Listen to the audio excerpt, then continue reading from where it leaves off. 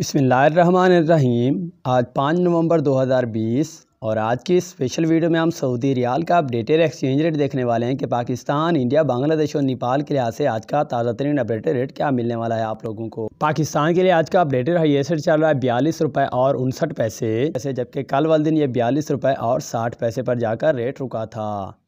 इसके अलावा बात करें, अगर इंडिया की तो आज का रेट चल रहा है उन्नीस रुपये और इक्यासी पैसे, जबकि कल वाले दिन यह उन्नीस रुपये और चौरासी पैसे पर हाइएस्ट था। बांग्लादेश की बात करें तो आज का रेट चल रहा है बाईस टका और साठ पैसे, जबकि कल वाले दिन यह बाईस टका और उनसठ पैसे पर हाइएस्ट था। लास्ट में बात करें, नेपाल की तो आज का अपडेट रेट चल रहा है इकतीस रुपये और इक्यासी पैसे, जबकि कल भी ये इकतीस रुपये इक्यासी पैसे पर हाइएस्ट था। शेयर करें